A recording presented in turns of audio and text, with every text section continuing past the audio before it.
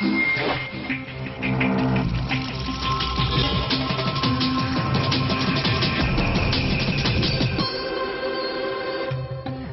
ce moment même, cérémonie de clôture du festival de Cannes présidée par Isabelle Huppert, prix d'interprétation masculine pour Peter Mulan, le film de Ken Loach, Mon nom est Joey. L'aéroport de Nice surchargé, influence record mais pas de pagaille malgré le Grand Prix de Monaco et la fin du festival. Le dispositif mis en place a fonctionné. Le pape Jean-Paul II à Turin pour prier devant le Saint-Suaire. Avant lui, près d'un million de catholiques avaient déjà défilé devant le linceul. Roland Garros, c'est demain.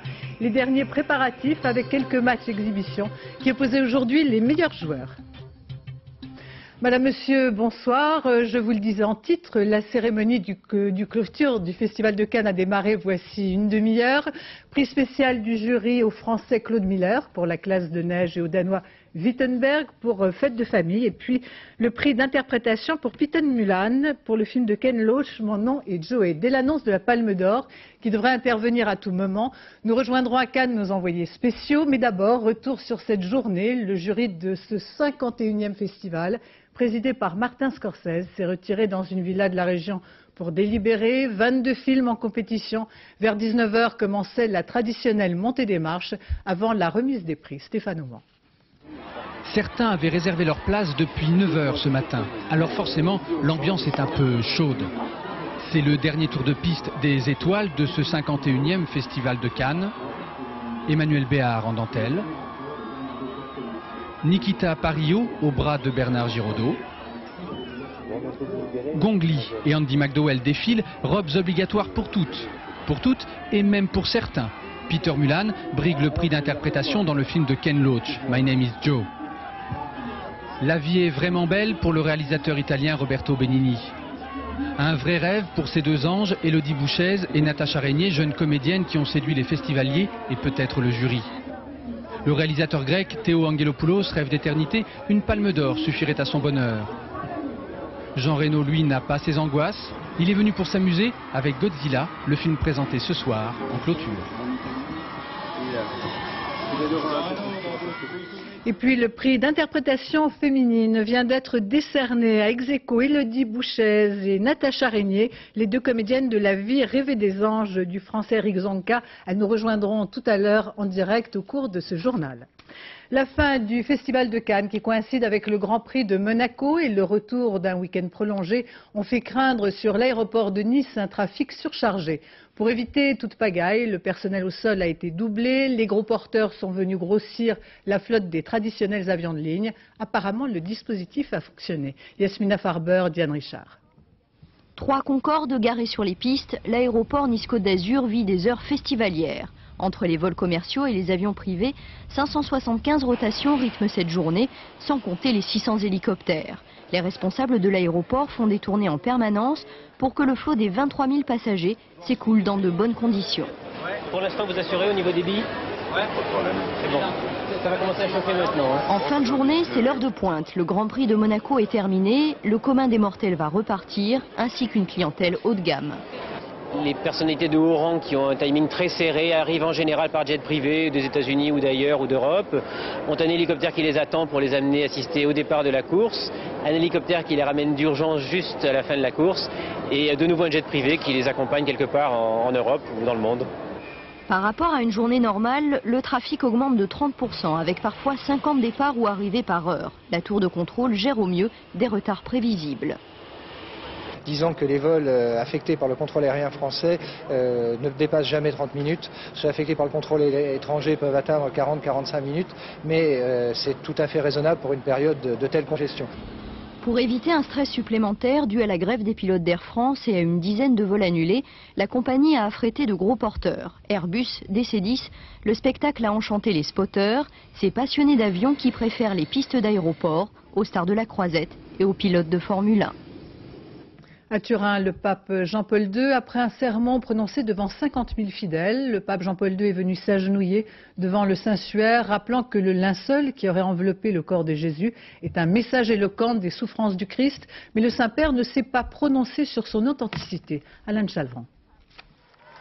Impressionnant Jean-Paul II à son arrivée tout à l'heure devant la cathédrale de Turin.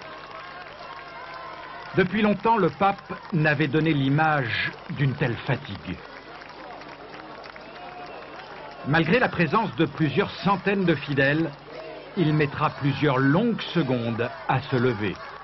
Et avec quelle difficulté Offrant à tous le visage d'un homme marqué par la souffrance.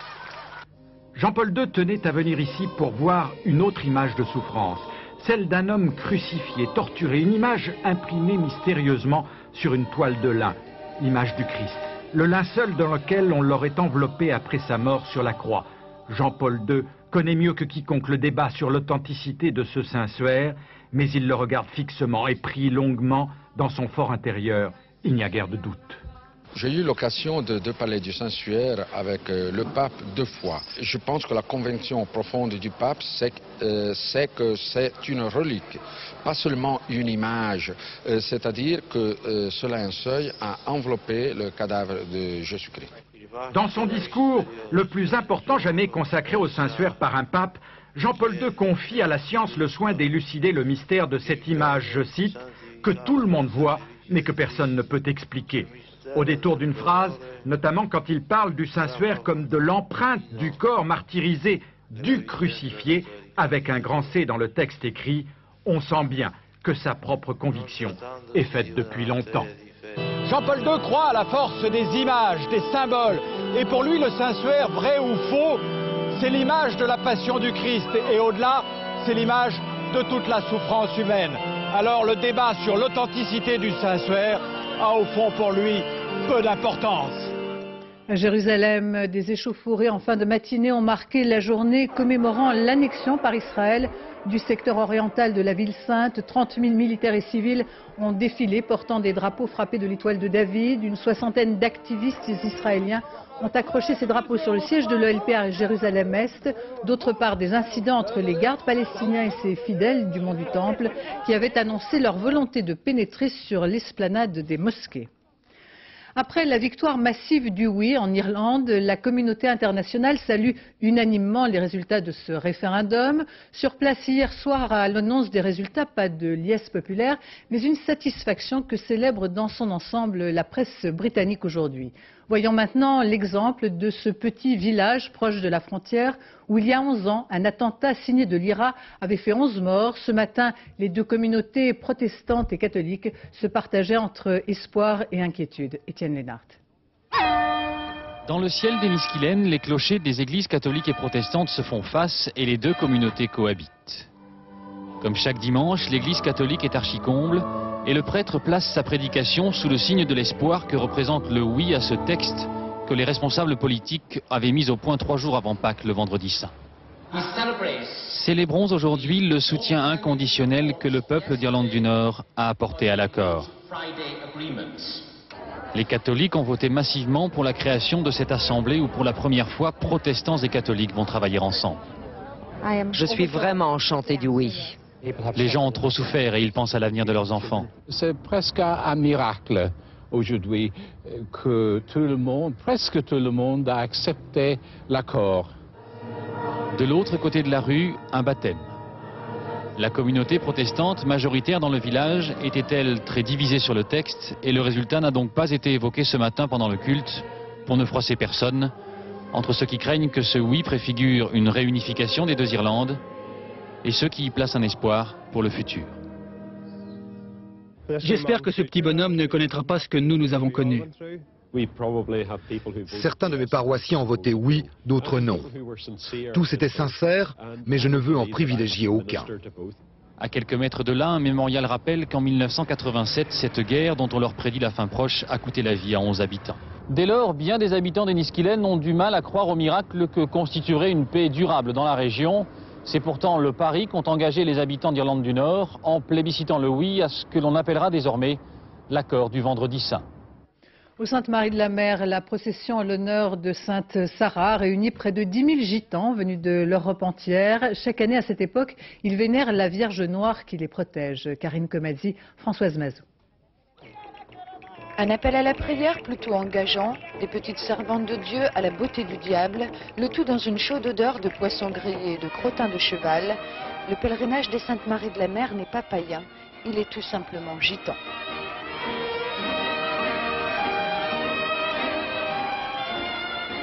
C'est la vie, c'est tout pour nous ça. C'est la grande vie. C'est la fête du gitan, c'est notre vie. Même si j'avais 100 ans, si je peux venir à pied, je viendrai à pied. De père en fils, il a toujours voulu à Sainte-Marie de la Mer. Même il y en a qui font des promesses et qui viennent à pied. À pied nus. Ils se tendent, hein. ils marchent à pied nus. Des promesses qu'ils font. S'il n'y avait ah ouais, n'y avait pas les gitans, il n'y aurait personne. Sainte-Marie, ils n'auraient pas autant de compris Chinti du Piémont, Manouche d'Allemagne, Rome d'Europe centrale, tous vénèrent Sarah la Cali, Sarah la Noire. Pour chaque prière, c'est un voile brodé qui vient orner la statue sortie de l'église pour une lente procession. Sarah, une sainte qui aurait fui les persécutions de Palestine avec les saintes Marie Jacobée et Marie Salomé pour accoster ici. Une version qui n'est pas au goût de tous les camarguais. C'était la servante de Sainte Marie de la Mer. Ah, eux disent que c'était une sainte. Ah. Alors, on l'a mise sainte, oui.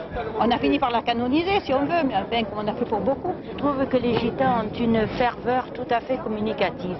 Même si la religion n'est peut-être pas très orthodoxe par rapport à ce qu'on demande maintenant, euh, c'est vraiment le pèlerinage où on peut le plus prier parce qu'ils sont vraiment tellement, ils ont tellement de foi qu'on vit avec eux. Une prière qui s'achève dans la mer par une bénédiction. Demain, les gitans repartiront avec sa protection. La Sorbonne célèbre ses 800 ans d'existence. Claude Allègre, le ministre de l'Éducation, a ouvert les cérémonies d'anniversaire de l'université la plus ancienne du monde après Bologne. Jusqu'à demain soir, grand colloque international consacré à l'université européenne, colloque que clôturera Lionel Jospin. Au chapitre politique, les dirigeants de l'UDF et du RPR, Philippe Séguin et François Léotard, qui ont décidé de créer l'Alliance, se réuniront pour la première fois demain. Demain aussi, nouvel épisode du feuilleton qui oppose Jean Tibéry à Jacques Toubon avec une réunion du Conseil de Paris.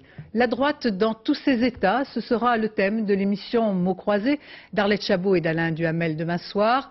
L'occasion de tester l'humeur des électeurs de droite avec un sondage réalisé par la Sofres avec le Figaro dont Véronique Saint-Olive nous révèle les grandes lignes. Pour une majorité de Français, le pire ennemi de la droite, c'est la droite elle-même et la rivalité de ses chefs. Dans l'ordre des difficultés suivent ensuite l'éloignement des préoccupations des gens, l'absence de projet et les affaires. Dans ce contexte, une vraie majorité se dégage pour estimer que la droite doit d'abord préparer un projet pour la France. Autre priorité, la lutte contre le Front National. Mais le soutien à Jacques Chirac n'apparaît prioritaire qu'à 45% des électeurs UDF-RPR et 28% seulement de l'ensemble des Français. Sans conteste, Jacques Chirac apparaît pourtant comme le leader naturel de la droite. Et c'est Édouard Balladur qui incarne le plus cette droite, devant Philippe Séguin, Charles Pasqua et Alain Madelin. Enfin, l'alliance, créée par Philippe Séguin et François Léotard, apparaît à la majorité comme une simple alliance électorale. Les sympathisants UDF-RPR sont plus circonspects et attendent pour juger si ce sera plus ou moins que cela mais une écrasante majorité caresse toujours le rêve d'un grand parti unique de l'opposition. Demain, vous retrouverez ce sondage dans le Figaro et rendez-vous donc pour l'émission Mots croisés face aux responsables de l'UDF et du RPR, des députés et des militants. Tout de suite, retour à Cannes avec, il y a un instant, l'attribution de la Palme d'Or. Nous écoutons, c'est pour... Alors, Monsieur Scorsese, ne nous faites plus attendre. Qui a gagné cette palme d'or? La palme d'or à l'unanimité, to l'éternité et un jour de Theo Angelopoulos. Angelopoulos.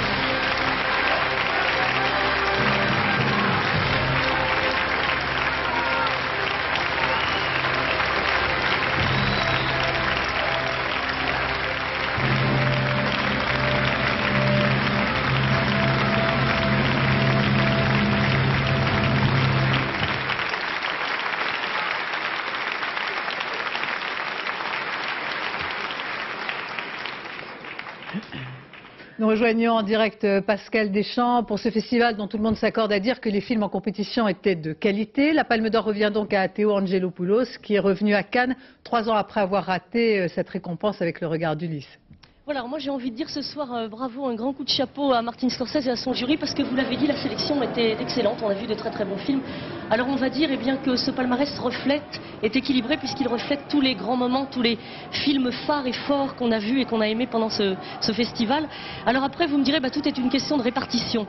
Alors la Palme d'Or au film de Théo Angelopoulos, L'éternité et un jour, qui est un film magnifique, est absolument incontestable. Le grand prix spécial du jury à Roberto Benigni pour La vie est belle, dont vous savez le film a été ovationné ici pendant 20 minutes debout par le public, etc., n'est pas scandaleux non plus. Je crois que c'était une manière pour Martin Scorsese de dire, eh bien, on ne décerne pas une double palme, on, fait un choix, et ce choix n'est pas d'opposer un cinéma intellectuel à un cinéma plus grand public, pas du tout, mais peut-être qu'en donnant la palme d'or, eh bien, à Théo Angelopoulos, ça permettra justement au grand public d'avoir la curiosité euh, d'aller voir ce film. Pour le reste, eh bien, notre cœur a battu toute la semaine pour les deux interprètes féminines du film d'Éric Zonka, La vie rêvée des anges, donc là aussi, c'est un, prix incontestable pour elle. Y a quelques oublis, il y a des belles surprises, La classe de neige de, Claude Miller. Donc, comme je vous le disais, je crois que c'est un palmarès qui reflète absolument les cinémas, tous les types de cinémas très variés qu'on a aimés ici pendant ces 12 jours. Merci euh, Pascal. Euh, nous rejoindrons bien sûr tout au long de ce journal euh, nos invités, Théo Angelopoulos, bien entendu, et les deux jeunes femmes qui ont reçu le prix d'interprétation. Je crois qu'elles sont en direct avec nous. Elles arrivent. Elles arrivent. Donc nous allons recevoir Élodie Boucher et Nathalie Régnier. Une très belle révélation, une très belle surprise sans doute euh, pour ces deux jeunes femmes. L'une tournait pour la première fois dans un film, l'autre avait été déjà consacrée dans un film de Téchiné. J'ai envie évidemment de leur demander dès qu'elles seront installées leur réaction. On imagine euh, la joie et peut-être une façon de se dire qu'elles n'en reviennent pas. Est-ce qu'elles m'entendent? Vous entendez bien oui, Alors un mot évidemment de réaction, on a l'impression que c'est un moment de grâce, un, moment inoubliable. Est-ce que vous m'entendez? Oui, oui, on vous a entendu. Tu l'as entendu? Oui, mais je crois qu'en en fait on est bouleversé, donc on, est un peu sous le choc comme on dit. Et, euh, donc c'est difficile de dire quelque chose. Euh. À, qui ou à quoi vous avez envie de dédier euh, ce prix? L'une et l'autre ben, À Eric Zonka pour, euh, ben, pour la façon dont il nous a filmés, pour, euh, pour les cadeaux qu'il nous a fait, parce que c'est vraiment des rôles euh, qu'il a vraiment peaufiné, cherché, et tout ça. Donc, ben, merci à lui pour, pour sa confiance, pour, pour son film, pour, pour son regard. Elodie, vous, vous jouez dans, ce film le rôle d'une battante optimiste, marginale mais optimiste malgré tout. On a envie de dire qu'elle avait raison. Oui, bien sûr. Il faut continuer à se battre, il faut lutter, il faut, continuer à être généreux et à s'ouvrir euh, sur, sur, les gens, sur les choses, sur ce qui nous arrive, sur euh, porter un regard sur tout ce qui se passe autour de nous. À un moment, vous y avez cru à ce prix? Vous avez cru l'obtenir? On a entendu beaucoup de choses toute la semaine. Mais c'est déjà un, tel cadeau d'être ici, en compétition. On sent que l'émotion est, palpable chez vous. Pascal euh, Deschamps qui est à vos côtés. Oui, ben, Natacha et Elodie, c'est exceptionnel d'avoir comme ça un, double prix euh, qui récompense euh, deux actrices. J'ai l'impression que c'est un bel hommage à, l'idée du film, en fait, qui est que ben, on a toujours besoin de quelqu'un d'autre. quoi. C'est un hommage à l'amitié. Je pense, oui. Il y a eu euh, une grosse pression sur vous justement parce que dès dimanche dernier, on a vu le, film dimanche soir. Les gens ont commencé à vous dire oh là là, vous êtes tellement formidable que vous allez peut-être avoir quelque chose. Ça vous a, ça vous a pesé cette, euh, cette semaine ou au contraire, c'est tout est bon à prendre? Mais à la fois, ça arrive souvent, enfin pas souvent, mais ça arrive que la presse comme ça s'emballe euh, sur des actrices et que en fait, bon, c'est pas du tout le choix du jury. En plus, c'est vrai qu'il y avait donc cette actrice anglaise, Catherine Cartridge, et puis et puis cette grande dame du cinéma qui est Isabelle Huppert. Donc à la fois on écoutait, mais à la fois euh, on entendait d'une oreille et ça ressortait de l'autre. Ça vous émeut d'autant plus que pour la première fois aussi, c'est un jury dans lequel il y a énormément, énormément d'actrices. Martin Scorsese s'est entouré d'actrices. Donc c'est encore plus beau comme ça d'avoir un hommage de, de, de, ses pères. Bah, c'est évident que si une femme est touchée par ce que font des femmes, c'est euh, encore plus fort. Enfin, je, je sais pas. Elodie, non? Merci. Merci en tout cas à toutes les deux. Nous rejoindrons Calme tout à l'heure avec Théo Angelopoulos et euh, comme invité également Roberto Benigni. Le retour à l'actualité. Aux États-Unis, le rassemblement de quelques 250 000 motards, euh, traditionnelle manifestation à Washington, pour inciter et appuyer les efforts du gouvernement pour retrouver des soldats portés disparus au Vietnam. Philippe Gassot. Les hordes qui aujourd'hui n'ont rien de sauvage ont envahi la capitale fédérale pour le week-end du Memorial Day. C'est l'occasion pour le pays de ne pas oublier ceux qui ont laissé leur vie sur les champs de bataille. Et parmi ceux qui ne veulent pas que l'on passe l'éponge sur leur sacrifice, il y a les vétérans du Vietnam, les mal-aimés d'une guerre qu'on ne voulait pas voir, les tronches qui portent sur leur visage les marques indélébiles des marginaux. Parce qu'au retour, à l'heure du Peace and Love, le pays ne leur a pas tendu la main. Je pense que nous avons été oubliés. C'était une guerre très impopulaire. Dans les années 60-70, c'était la révolution non violente, un mouvement pour la paix aux États-Unis. On veut dire au gouvernement qu'on n'accepte pas que nos prisonniers de guerre ou disparus soient laissés sans aide ni rien du tout au Vietnam. Les vétérans ont les pouvoirs publics à l'œil. Ils exigent d'être entendus et pour cela, chaque année, ils viennent faire du bruit. Les soldats savent les risques qu'ils prennent, mais le pays promet une seule chose, c'est de les ramener à la maison, même dans des cercueils. Pourtant, ils sont nombreux à n'avoir jamais été retrouvés. Sont-ils vivants ou morts? Les vétérans du Vietnam sont venus ici à Washington rappeler au gouvernement qu'un peu plus de 1500 d'entre eux manquent à l'appel et qu'il faut tout mettre en œuvre pour les retrouver.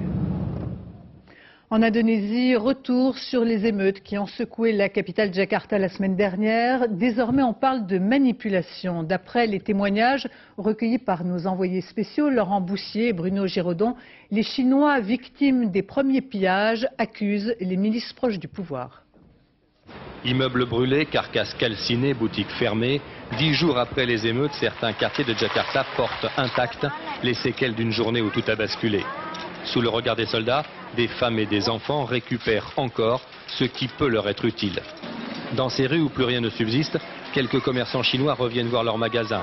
Appelons-la Kim, elle fait partie de cette communauté cible des pillards et des émeutiers.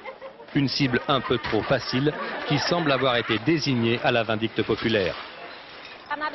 Ils sont arrivés à 300 en camion. Un premier groupe a coupé toutes les serrures avec de grandes cisailles. Un deuxième groupe suivait avec des jerrycans et ils ont mis le feu. C'est seulement après que les pauvres du quartier sont venus piller. Des récits comme celui-là, on peut en recueillir des centaines. Ce sont donc des groupes venus de l'extérieur en camion qui ont commencé la mise à sac.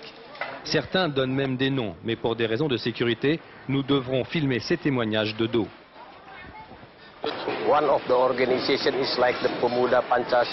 Une de ces organisations, c'était les Pemuda Panchashila.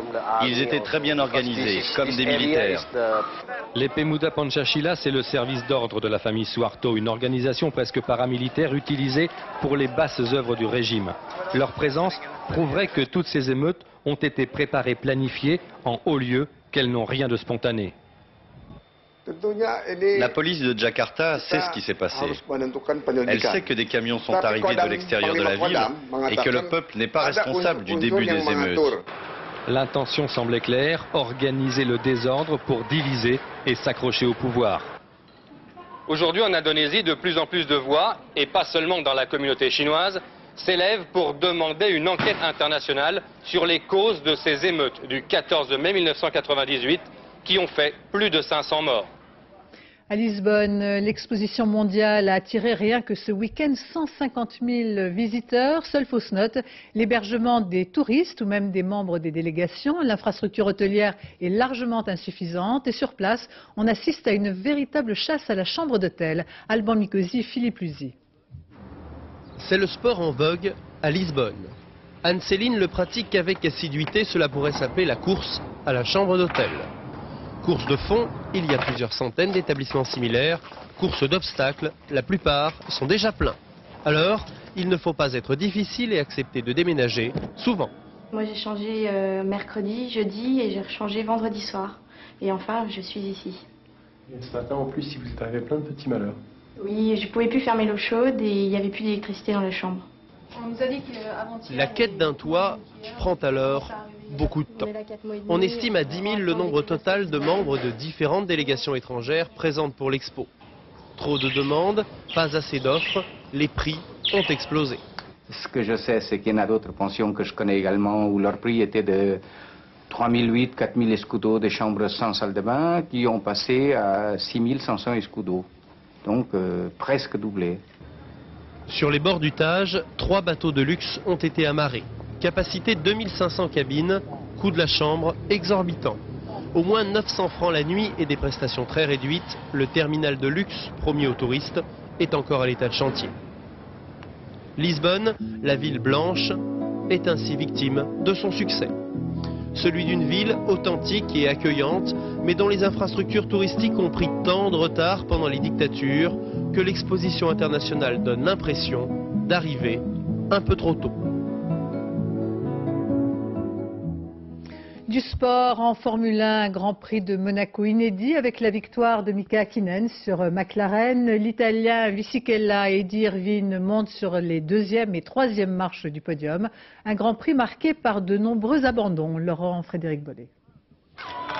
Le nouveau prince de Monaco est aussi le nouveau roi de la Formule 1. Mika Hakkinen, qui sait en plus recevoir le soutien inconditionnel de sa fiancée Anya, oui, il y en a qui peuvent être heureux. Car gagner le Grand Prix de Monaco, le rendez-vous le plus huppé de la saison, où la proximité du Festival de Cannes a toujours une petite influence, une victoire donc ici vaut bien, dit-on, un championnat du monde. Le départ, un moment toujours impressionnant où il faut se faufiler vers l'entonnoir de Sainte-Dévote. Cette année, pas d'accident. Akinen, fort de sa pole position, s'était lancé en tête. Son seul rival est a priori son coéquipier Coulthard. Mais au 17e tour, le moteur Mercedes explose. C'est fini pour l'Écossais. Akinen peut continuer son cavalier seul. Dans le peloton, superbe passe d'armes entre Schumacher et Wurz. On se touche, on se frotte, on ne s'avoue pas vaincu et on remet ça au virage suivant. Mais aucun des deux ne sera à l'arrivée. C'est aussi le sort, hélas, de Jean Alési, alors qu'il était en mesure de marquer des points. Hakkinen empoche donc sa cinquième victoire, la quatrième cette année en six courses. Fisichella est deuxième, Irvine troisième. Au championnat, le Finlandais a 17 points d'avance sur Coulthard, 22 sur Schumacher. Les jeux sont faits, rien ne va plus pour les autres. Début demain des internationaux de France de tennis à Roland-Garros. Dès cet après-midi, les spectateurs ont pu avoir un avant-goût du tournoi en assistant à quelques matchs exhibitions entre les meilleurs joueurs du monde. Ambiance dans les allées, François Brabant, Maris Richard. Cette année, il y a de la concurrence. Dans les allées de Roland-Garros, il y a comme un parfum de Coupe du Monde. Un footix par-ci, un maillot du Brésil par-là, c'est plus Hauteuil, c'est Saint-Denis. Heureusement, même déguisés en supporters, les spectateurs de Roland-Garros, au fond d'eux-mêmes, ce sont des fidèles. Toi, t'es plus foot ou plus tennis euh, Plus tennis. Plus tennis Non, t'as la casquette de la Coupe du Monde, là Ouais, je sais, mais je suis plus tennis. Et toi Plus tennis. Pour les joueurs français, la Coupe du Monde, ça serait l'occasion d'avoir un peu la paix. La pression, comme on dit chez eux, elle serait plutôt du côté des 22 à Clairefontaine. Mais avoir le nombre de chasseurs d'autographes aujourd'hui, Cédric Peline ne doit pas se faire d'illusions, même cette année. On l'attend au tournant. Je suis numéro un français, c'est important pour moi de, ce tournoi, mais euh, j'ai envie de, bien jouer évidemment, donc, euh, mais c'est un grand plaisir, c'est une chance de jouer à un grand chelem euh, en France.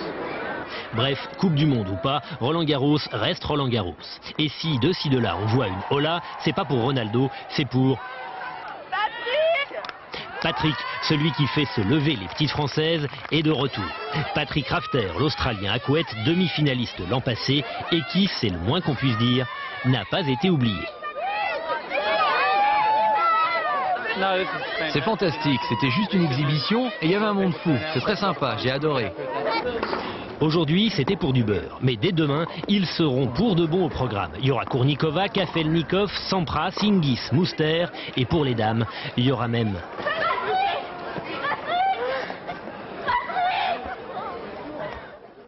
Retour à Cannes, depuis quelques minutes s'est achevée la remise des prix sur la scène du Palais des Festivals. Isabelle Huppert présidait cette cérémonie de clôture. Voici le palmarès choisi par le jury. Philippe Lefay.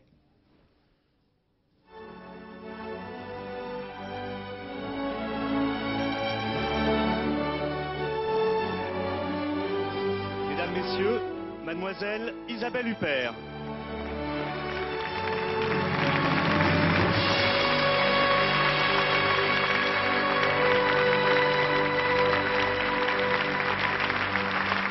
Une chose est certaine en tout cas, c'est que le monde change les images. Le cinéma se nourrit de réalité, même si heureusement il la transforme, cette réalité, et quelquefois la transcende. Monsieur Martin Scorsese. Le palmarès de ce 51e festival est donc signé par un jury de 10 membres emmené par le président Scorsese. La cuvée 1998, comme attendu, est excellente. Deux prix spéciaux du jury, La classe de neige de Claude Miller qui met en scène un enfant secret et fragile qui découvrira à la montagne une vérité encore plus dure. Et Festen de Thomas Winterberg qui incarne la nouvelle vague danoise. On y refuse désormais, dans la chasse au superficiel, le cinéma d'antan. Festen, c'est une querelle de famille, brute de décoffrage.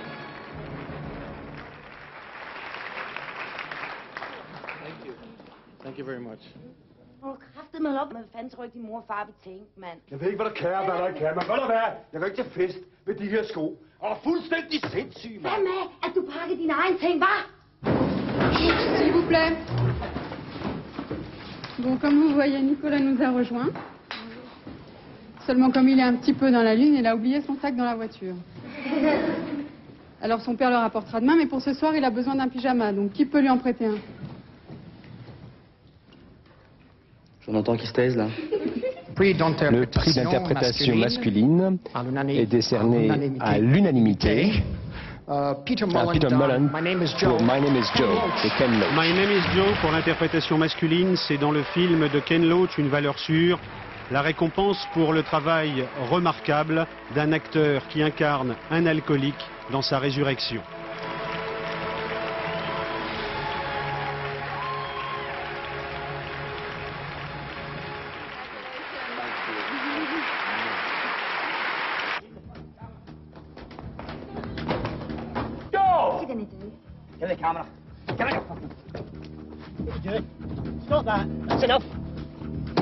Enough. Get that's government property. Prix d'interprétation féminine ex echo Elodie Boucher et Natasha Régnier dans Le Vie rêvée des anges. La vie rêvée des anges, un premier film d'Éric Zonka, 41 ans, un premier long métrage, l'itinéraire croisé de deux paumés, deux actrices évidentes, la brune Elodie Boucher et la blonde Natacha Régnier. Action, à Lille, un film en 16 mm pour un petit budget de 8 millions de francs.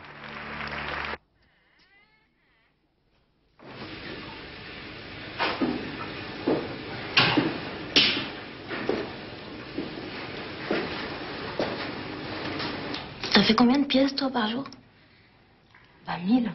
Mille Putain. Et euh, ça fait longtemps que t'es couturière, toi Pas deux semaines. Et c'est finalement Benigni qui signe ici une audace couronnée par Cannes. La vie est belle, si belle que cette comédie de Benigni s'achève en camp d'extermination. Le film déjà un triomphe en Italie voit un clown confronté à la Shoah qui veut préserver un enfant. Même s'il tourne le dos au réalisme, Benigni fait référence à Primo Levi qui a décrit autrement l'absurde. Benigni revendique l'horreur et la fable.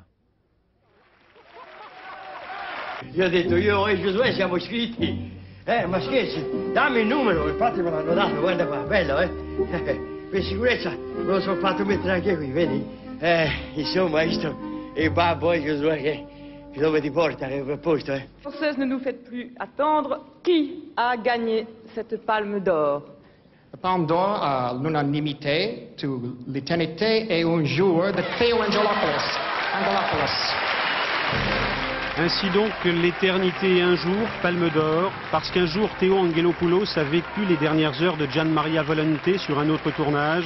Il a eu l'idée de ce film sur la vie, fût-elle celle d'une seule journée, une éternité.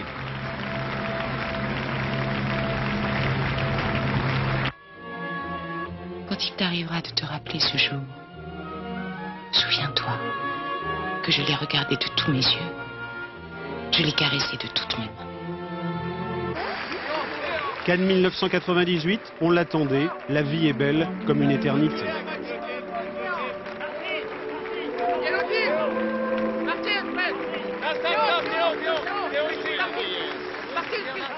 Retour à Cannes avec euh, nos invités aux côtés de Pascal Deschamps. Nous avons Théo Angelopoulos et Robert Benigni. Je commence avec Théo Angelopoulos. Bonsoir. Euh, palme d'or. Cette consécration à Cannes aujourd'hui vient compenser, je dirais, cette palme ratée d'il y a ratée si peu il y a trois ans. Quel sentiment vous a emporté lorsque vous êtes tout à l'heure monté sur la scène?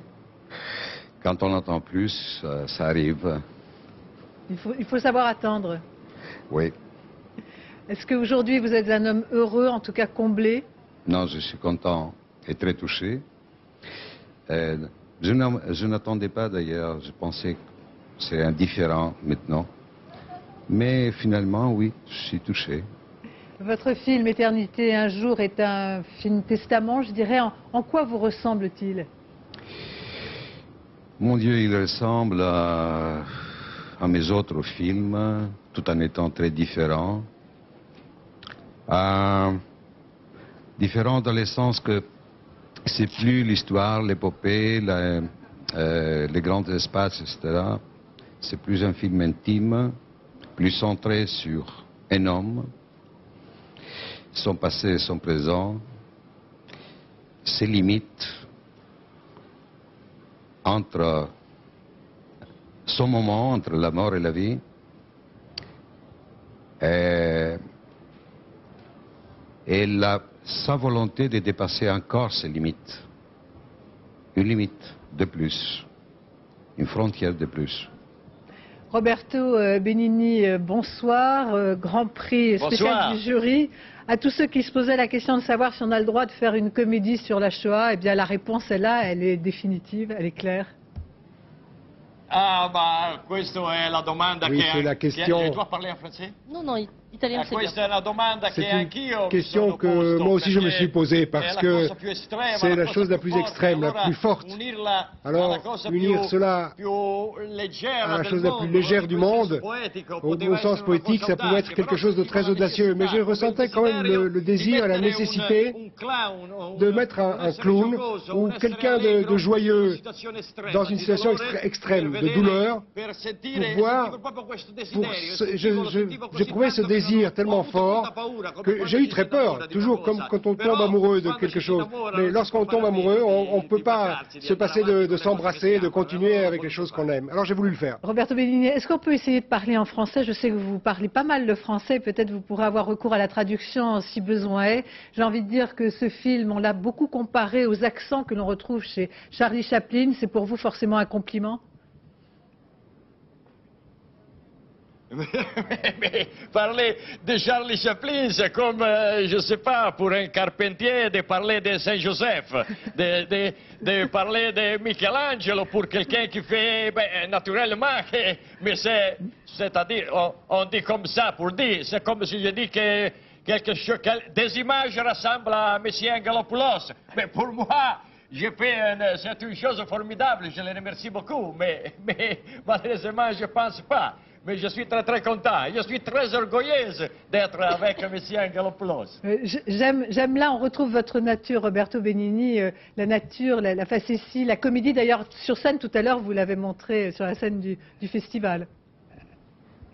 Ah si, parce que quand je dis la vie est belle, c'est la phrase la plus simple. C'est comme dire bonjour, c'est comme donner un baiser. C'est une chose très simple. J'ai choisi ça pour démontrer qu'on a, on a le droit, on doit avoir le droit de dire la vie est belle jusqu'au dernier, les derniers moments. On doit avoir ce droit, on le doit dire parce que c'est la phrase la plus simple, la plus belle qu'on qu peut. Alors, j'ai choisi ce titre pour ça. Mais je pense que, que je n'ai pas compris la question que vous m'avez posée. Deschamps. Pascal Deschamps. si, si, vous, ah vous avez très bien compris. Très bien, très bien ah, répondu.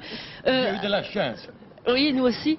Euh, lors de la cérémonie d'ouverture, ça c'est une question pour tous les deux, Isabelle Huppert, a rendu hommage à tous les cinéastes du monde entier, ceux qui étaient là, ceux qui n'étaient pas, en disant les cinéastes sont des donneurs de vie. Vos deux films incarnent ça, mais est-ce que ça veut dire, est-ce que vous avez le sentiment que, avec la création, on peut donner la vie aux gens qui regardent et on peut vaincre la mort d'une certaine manière? Ou est-ce que c'est une illusion? Parlez dans le, dans le micro. Oui, je ne sais pas. Je trouve ça trop. Hein. Demander ou espérer qu'un film peut donner vie. je ne sais pas.